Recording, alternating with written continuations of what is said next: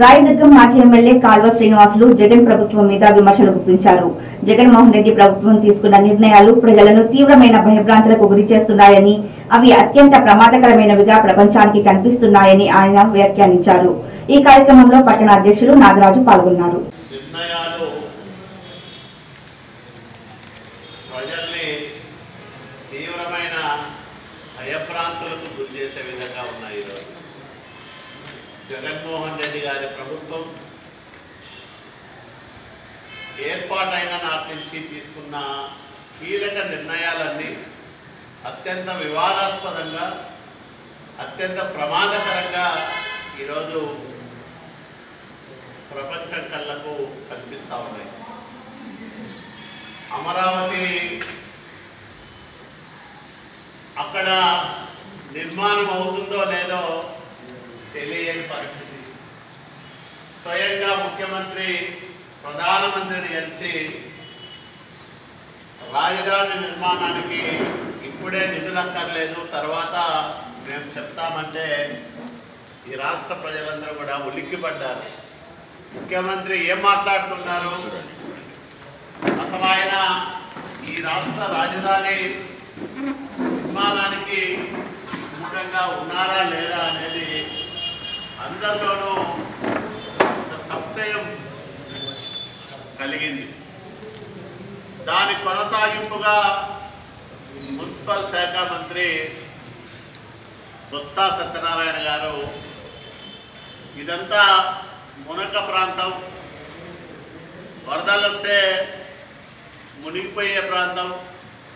నిర్మాణ వ్యయం విపరీతంగా పెరుగుతుంది కాబట్టి దీని మీద త్వరలోనే ఒక కీలక నిర్ణయం తీసుకుంటామని ఆయన ప్రకటిస్తాడు.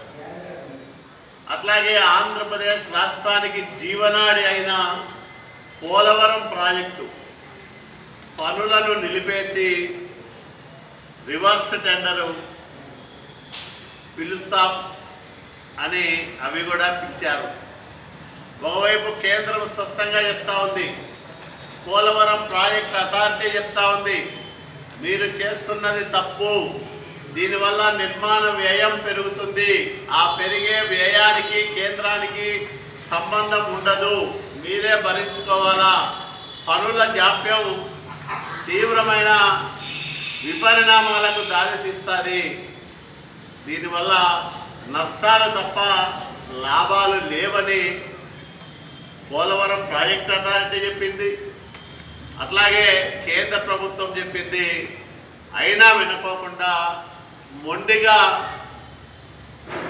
ఏకపక్షంగా పాత పనులని రద్దు చేసి రివర్స్ టెండర్కి వెళ్ళడం జరిగింది.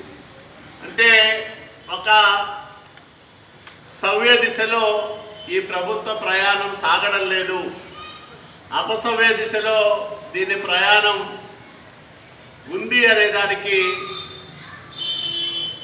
కీలకమైన నిర్ణయాలే ప్రబలమైన సాక్ష్యాలుగా మన కళ్ళకు కనిపిస్తూ ఉన్నాయి ఈరోజు. ఈ పోలవరం ప్రాజెక్టు విషయంలో రివర్స్ టెండరింగ్ విధానాన్ని ఈరోజు స్వయంగా హైకోర్టు తప్పుపట్టే పరిస్థితికి వచ్చిందంటే బహుశా పాలన మొదలైన వంద రోజుల లోపే న్యాయస్థానంలో ఎదురు దెబ్బతిన్న తొలి ప్రభుత్వంగా జగన్మోహన్ రెడ్డి ప్రభుత్వం నిలిచిపోతుంది అని ఈరోజు మేము స్పష్టంగా చెప్తా ఉన్నాం. వంద రోజులు కూడా కాలేదు ఇంకా ఈ ప్రభుత్వం ఏర్పాటై. ఈ వంద రోజుల కాలంలో తీసుకున్న నిర్ణయాలన్నీ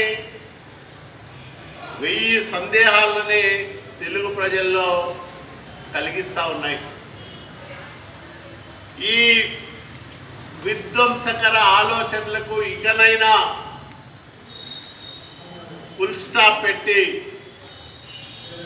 సక్రమంగా పరిపాలించడానికి ఆంధ్రప్రదేశ్ రాష్ట్ర ప్రజలకు ఒక నమ్మకాన్ని కలిగించడానికి పరిశ్రమల శాఖ మంత్రి చెప్తాడు. మేము పారిశ్రామిక విధానంలో మార్పులు తీసుకొస్తాం. కియా లాంటి పరిశ్రమకి ఇరవై ఏళ్ళలో ఇరవై ఏడు వేల కోట్ల రూపాయల రాయితీలు వస్తాయని. మేము ఒకటే అడుగుతున్నాం కియా వల్ల ఈ రాష్ట్రానికి ఈ దేశానికి ఎంత ఆదాయం వస్తుందో ఈ పరిశ్రమల మంత్రికి తెలుసా అని మేము అడుగుతా ఉన్నాం. ఒక అంతర్జాతీయ ప్రమాణాలు కలిగిన ఒక కార్ల పరిశ్రమ అత్యంత వెనుకబడిన ప్రాంతం అనావృష్టికి ఆలవాలంగా మారిన ప్రాంతం అనంతపురంలో ఏర్పాటు కావడానికి ప్రధానమైన కారణం చంద్రబాబు నాయుడు గారి ఒక సమర్థవంతమైన నాయకత్వం పట్ల కియా యాజమాన్యానికి ఉన్న నమ్మకం విశ్వాసం. ఆయన్ను చూసి ఆ రోజు ఈ రాష్ట్రంలో పదిహేడు వేల కోట్ల రూపాయలు పెట్టుబడి పెట్టడానికి ఆ సంస్థ ముందుకొచ్చింది. వేల ఉద్యోగాలు. అట్లాగే ఆ ప్రాంతంలో ప్రజలకు అక్కడ ఏర్పడే టౌన్షిప్ల వల్ల అక్కడ వచ్చే సౌకర్యాల వల్ల ఎన్నో మేళ్ళు కలిగే అవకాశం ఉంది. ఇవన్నీ మర్చిపోయి ఇరవై ఏళ్ళకి ఇచ్చే పారిశ్రామిక రాయితీలను లెక్కగట్టి ఇన్ని వేల కోట్ల రూపాయలు ప్రభుత్వం ఇవ్వాల్సి వస్తుందని ఆ మంత్రి చెప్తాడు. అంటే వీళ్ళందరికీ చంద్రబాబు నాయుడు గారు కియా తీసుకొచ్చారు కాబట్టి దాన్ని మూతేయించల్లా. చంద్రబాబు నాయుడు గారు రాజధాని నిర్మిస్తా ఉన్నారు కాబట్టి దాన్ని ఆపేయల్లా. చంద్రబాబు నాయుడు గారు ముఖ్యమంత్రిగా పాలన ప్రారంభించే నాటికి నలభై ఏళ్ళుగా కలలు కన్న పోలవరం ప్రాజెక్టులో కేవలం ఏడు పాయింట్ రెండు శాతం పనులు మాత్రమే అయ్యాయి. ఈరోజు అవి దాదాపు అరవై ఏడు అరవై ఎనిమిది శాతానికి వచ్చాయి. కాబట్టి పోలవరం పూర్తయితే చంద్రబాబు నాయుడు గారికి పేరు వస్తుంది దాన్ని పూర్తి చేయకోకుండా అట్లాగే పెట్టాలా? ఇట్లా ఒక నాయకుడి మీద కక్షతో లేదా ఆయనకు పేరు వస్తుందనే దుగ్ధతో రాష్ట్ర ప్రయోజనాలను దారుణంగా దెబ్బతీసే ఈ విధ్వంసకర ఆలోచనలను చర్యలను తెలుగుదేశం పార్టీ తీవ్రంగా ఖండిస్తూ ఉంది. ఈ రాష్ట్ర ప్రజలు ఈరోజు నానా విచారణ పడుతూ ఉన్నారు. రైతులు విత్తనాలు వేరుశనగ విత్తనాల కోసం రోడ్డెక్కారు. ఈరోజు ప్రత్యామ్నాయ విత్తనాలు అవి చాలా చౌకగా ఇచ్చేటివి. ఉలవలు అలసందలు పెసలు కూడా ఇవ్వలేని దయనీయమైన పరిస్థితుల్లో జగన్మోహన్ రెడ్డి గారి ప్రభుత్వం ఉందంటే ఎందుకంటే ఏమనాలో మాకైతే అర్థం కావడం లేదు. ఏమన్నంటే చంద్రబాబు నాయుడు గారు కారణం అంటారు. వర్షాలు జగన్మోహన్ రెడ్డి గారి కాలంలో కురవకపోతే చంద్రబాబు నాయుడు గారిని తప్పు పడతారా అని నేను అడుగుతా ఉన్నా. చంద్రబాబు నాయుడు గారి వల్లే ఈరోజు ఆంధ్రప్రదేశ్ రాష్ట్రంలో వర్షాలు కురవడం లేదా? చంద్రబాబు నాయుడు గారి వల్లే ఈరోజు మీరు ప్రత్యామ్నాయ విత్తనాలు అవసరమైనన్ని ఇవ్వలేకపోతా ఉన్నారా? చంద్రబాబు నాయుడు గారి వల్లే ఈరోజు పెన్షన్లు ముప్పై శాతం మందికి పదిహేనో తేదీ వరకు కూడా ఇవ్వలేకపోయినారా? ఈ రోజుకు వందల మంది ప్రతి మండలంలోనూ ఒంటరి మహిళలు వృద్ధులు దివ్యాంగులు పెన్షన్ల కోసం ఆశగా ఎదురు చూస్తూ ఉన్నారే ఆవేదన వ్యక్తం చేస్తూ ఉన్నారే అవన్నీ మీకు కనిపించడం లేదా అని మేము అడుగుతా ఉన్నాం. ఏ ఒక్క కార్యక్రమం అయినా ఏదో వైఎస్ఆర్ కార్యకర్తలకి వాలంటీర్ల పోస్టులు అప్పజెప్పడం తప్ప వేరే ఏమైనా మీరు చేశారా వచ్చినప్పటి నుంచి అయినా మేము అడుగుతా ఉన్నాం.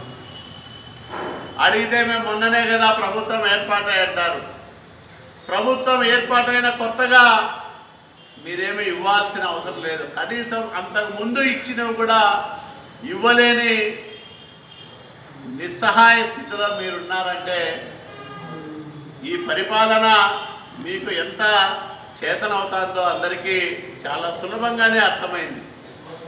కాబట్టి మేము ఒకటే అడుగుతున్నాం.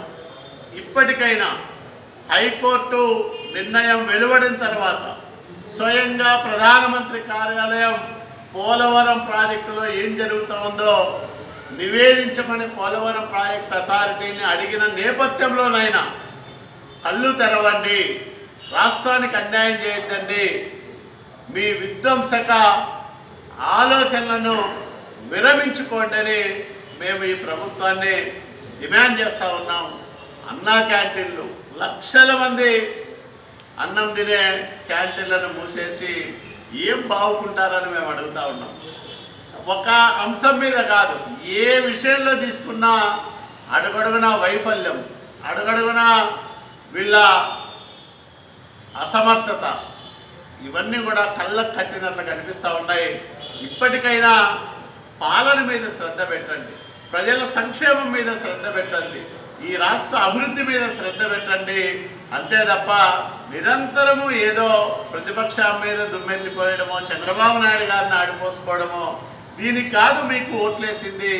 ఇట్లా చేయడానికి కాదు మీకు ప్రభుత్వాన్ని అప్పజెప్పింది ప్రజలు అనే దాన్ని ఇప్పటికైనా గుర్తెరగాలని మరి నేను ప్రభుత్వంలో ఉండే పెద్దలకు డిమాండ్ చేస్తా ఉన్నాను. Sí, yo.